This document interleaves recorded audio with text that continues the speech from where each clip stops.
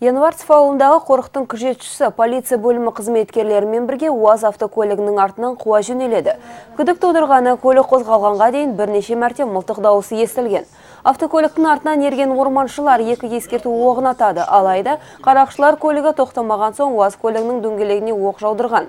Алайда оқ жолаушылардың бірінің арқасына тиіп, тек содан соң көлік тежеледі. Жарақат алған азамат Дариян ауылдық ауруханасына түскен. Сондай-ақ жалған нөмірлі автокөлікте болған аталмыш ауылдың екі тұрғыны мен Рубешка елді мекеннің 30 жасар тұрғыны қамауға алынды. Қазіргі таңда қылмыстық іс қозғау туралы мәселе қарастырылып жатыр.